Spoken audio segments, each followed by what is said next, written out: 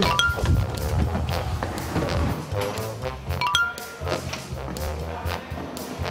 어? 뚫는답니다.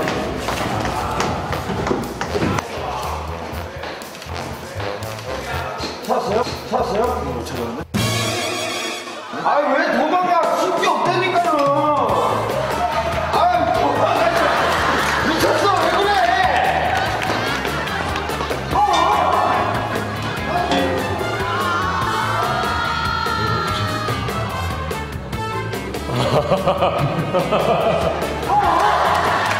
아니 수준이 오는데 왜 그러니까?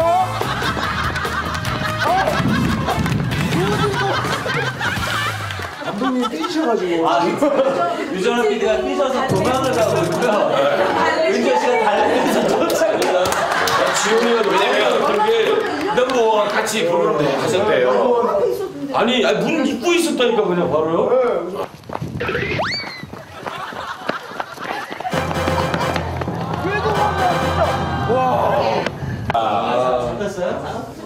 아 결국은 설득을 했나봐요. 왜 도망가 진짜? 전 제가 따라가야 될 사람 있어가지고.